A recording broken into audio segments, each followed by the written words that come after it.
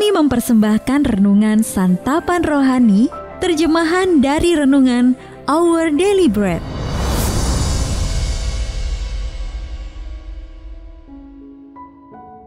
Untuk menerima notifikasi video baru kami, silakan tekan tombol subscribe dan tanda lonceng di bawah ini. Sahabat UDB, pembacaan Alkitab hari ini terambil dari Yohanes pasal yang ke-13 ayat yang ketiga sampai dengan ayat yang kelima. Lalu dilanjutkan dengan ayat yang ke-12 sampai dengan ayat yang ke-15. Lalu ayat yang ke-31 sampai dengan ayat yang ke-35. Yohanes pasal 13 ayat 3 sampai 5, lalu dilanjutkan dengan ayat yang ke-12 sampai dengan ayat yang ke-15, lalu ayat yang ke-31 sampai dengan ayat yang ke-35. Yesus tahu bahwa Bapaknya telah menyerahkan segala sesuatu kepadanya dan bahwa ia datang dari Allah dan kembali kepada Allah. Lalu bangunlah Yesus dan menanggalkan jubahnya. Ia mengambil sehelai kain lenan dan mengikatkannya pada pinggangnya. Kemudian ia menuangkan air ke dalam sebuah basi dan mulai membasuh kaki murid-muridnya, lalu menyekanya dengan kain yang terikat pada pinggangnya itu. Sesudah ia membasuh kaki mereka, ia mengenakan pakaiannya dan kembali ke tempatnya. Lalu ia berkata kepada mereka, "Mengertikah kamu apa yang telah kuperbuat kepadamu? Kamu menyebut aku guru dan Tuhan, dan katamu itu tepat, sebab memang akulah guru dan Tuhan. Jadi jikalau aku membasuh kakimu, aku yang adalah Tuhan dan gurumu, maka kamu pun wajib saling membasuh kakimu. Sebab aku telah memberikan suatu teladan kepada kamu, supaya kamu juga berbuat sama seperti yang telah kuperbuat kepadamu. Sesudah Yudas pergi, berkatalah Yesus, "Sekarang Anak Manusia dipermuliakan, dan Allah dipermuliakan di dalam Dia. Jikalau Allah dipermuliakan di dalam Dia, Allah akan mempermuliakan dia juga di dalam dirinya dan akan mempermuliakan dia dengan segera.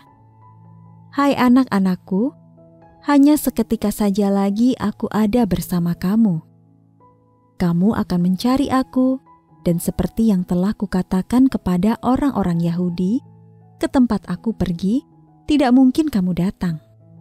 Demikian pula aku mengatakannya sekarang juga kepada kamu aku memberikan perintah baru kepada kamu, yaitu supaya kamu saling mengasihi.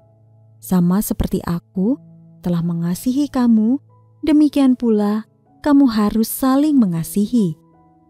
Dengan demikian, semua orang akan tahu bahwa kamu adalah murid-muridku, yaitu jikalau kamu saling mengasihi.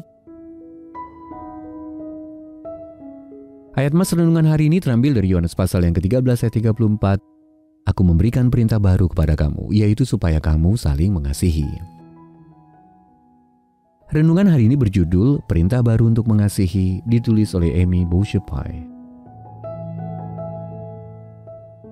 Sahabat ODB pada hari Kamis Putih atau Maundy Thursday, sehari sebelum Jumat Agung, anggota keluarga kerajaan Inggris biasanya membagi-bagikan hadiah kepada warga masyarakat yang berkekurangan. Tradisi yang bermula dari abad ke-13 itu didasarkan pada kata maundi yang terambil dari kata Latin mandatum atau perintah. Yang diperingati adalah perintah baru yang diberikan Yesus kepada sahabat-sahabatnya pada malam sebelum ia disalibkan. Aku memberikan perintah baru kepada kamu yaitu supaya kamu saling mengasihi sama seperti aku telah mengasihi kamu, demikian pula kamu harus saling mengasihi. Yohanes pasal yang ke-13 ayat 34. Yesus adalah pemimpin yang mengambil peran sebagai hamba dan dia menunjukkannya dengan cara membasuh kaki para murid. Dia pun memanggil mereka untuk mengikuti teladannya.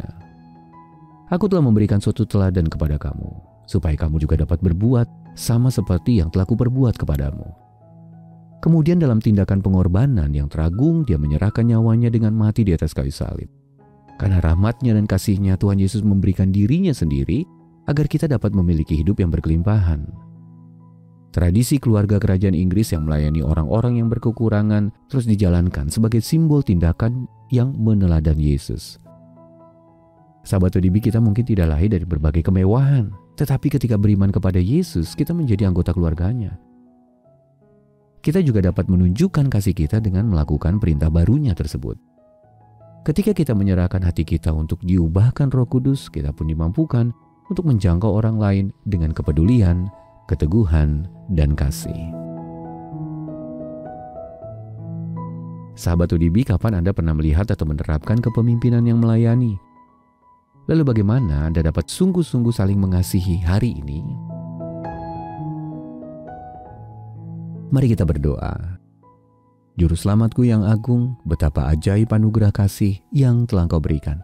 Terima kasih karena Engkau telah menjadi hamba yang terbesar dengan menyerahkan nyawamu bagiku. Dalam nama Tuhan Yesus kami berdoa. Amin.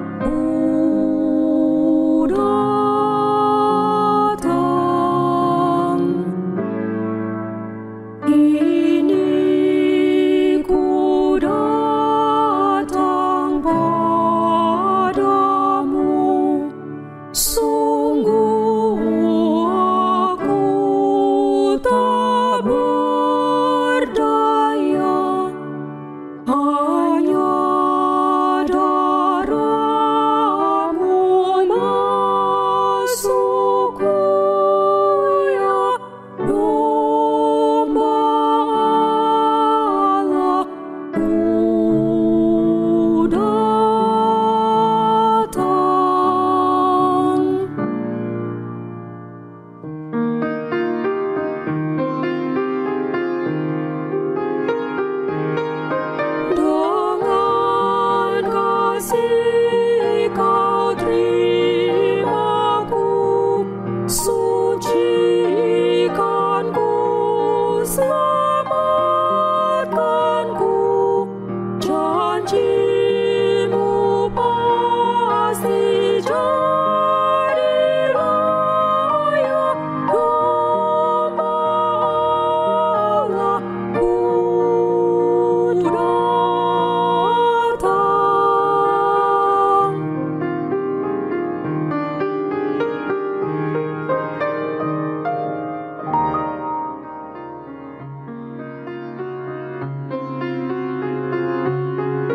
So